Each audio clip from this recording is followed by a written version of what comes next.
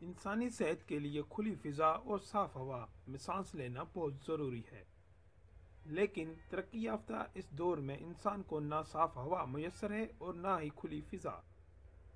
اس بڑھتی ہوئی ماحولیاتی آلودگی کی سب سے بڑی وجہ فضائی آلودگی ہے، جو ایک صحت مند معاشرہ تشکیل دینے میں بڑی رکاوٹ بن چکی ہے۔ ضلع سانگڑ میں دو سو سے زائد اینٹوں کے بھٹے قائم ہیں، جہاں اینٹوں کو پکانے کی غرض سے ایندھن کے طور پر لکڑی، کوئلہ کپاس کے کچرے کے علاوہ، اب مضر صحت چمڑے و پلاسٹک کے گلے سڑے جوتے اور دیگر اقسام کا کچرا بھی چند بھٹوں پر جلایا جا رہا ہے۔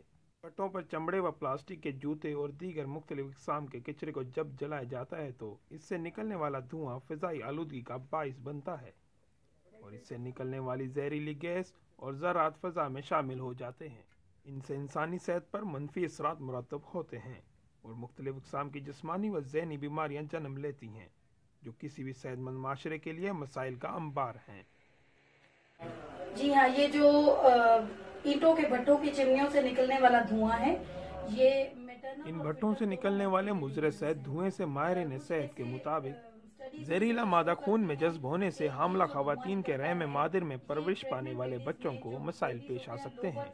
جو بچوں کی ذہنی نشو نما کے لیے سنگین خطرہ ہیں۔ اینٹوں کے بھٹوں کی چمنیوں سے نکلنے والا جو دھواں ہے، وہ میٹرنل اور فیٹل دونوں ہیلتھ پہ افیکٹ کرتا ہے۔ جو بھی پریگننٹ لیڈیز ہیں، ان کے، ان کی ہیلتھ پہ بھی افیکٹ کرتا ہے اور جو بیبیز ہیں، ان میں low birth low birth weight babies ہوتے ہیں اور مینٹل ڈیولپمنٹ کم ہوتی ہے بچوں کی، جتنی بھی یہ میٹرنل فیکٹرز بھی ہیں اور فیٹل فیکٹرز بھی ہیں۔ اس کے علاوہ مختلف اقسام کی جسمانی و ذہنی بیماریاں بھی جنم لیتی ہیں۔ جو بیماری ان کے دو چیزیں ہوتی ہیں، ایک تو وہ سانس کی بیماری ہوتی ہے۔ اور سانس کی بیماری انتہا کیونکہ سانس ہی زندگی ہے۔ جب سانس ہے تو زندگی ہے، سانس نہیں ہے تو زندگی ختم ہے۔ چاہے بندہ کتنا بھی صحت مند ہو، تو سانس کی بیماری سب سے زیادہ خطرناک ہے۔ اس کے بعد جو دوسری بیماری ان لوگوں کو لگتی ہے، وہ چمڑی کی الرجی ہوتی ہے۔ اکثر لوگ جو ہیں، چمڑی کی بیماری میں مبتلا ہو جاتے ہیں۔ جیسے کہ بٹھوں میں جو یہ ایندھن کی طور پہ ربڑ کی چیزیں ہیں، جیسے جوتے وغیرہ ہیں، پلاسٹک وغیرہ ہیں، یہ استعمال کر رہے ہیں آج کل۔ اس کی وجہ سے جو دھواں پیدا ہوتا ہے، وہ وہاں پر جتنے بھی مزدور وغیرہ جو کام کرتے ہیں، ان کو ڈائریکٹ نقصان پہنچا سکتا ہے اور اس کے ساتھ ساتھ جو نزدیک نزدیک گوٹ ہیں، وہ دھواں اگر وہاں پر آلودگی پیدا کرے گا، اس سے جو نزدیک والے جتنے بھی لوگ ہیں، ان کو دمے کی بیماری کی شکایت ہو سکتی ہے۔ تو اسی لیے یہ ربڑ کی چیزیں جو ایندھن کی طور پہ استعمال کی جاتی ہیں، یہ انسانی ذات کے لیے بہت خطرناک ہے۔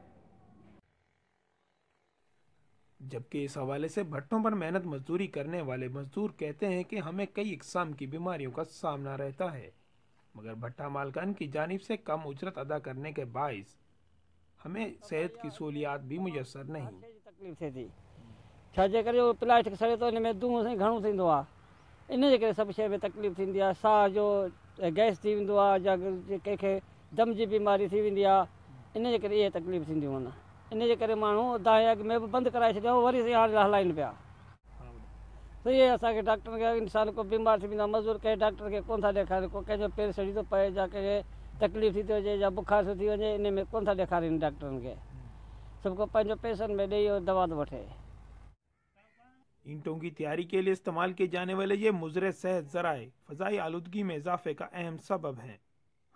حکومت کو چاہیے کہ وہ ان بھٹا مالکان کو ماحولیاتی آلودگی کا باعث بننے والے ذرائع کو ترک کر کے نئے ماحول دوست وسائل اپنانے کا پابند کرے، تاکہ ماحولیاتی آلودگی میں کمی واقع کی جا سکے اور پبلک کو سانس لینے کے لیے بہتر فضا میسر آ سکے۔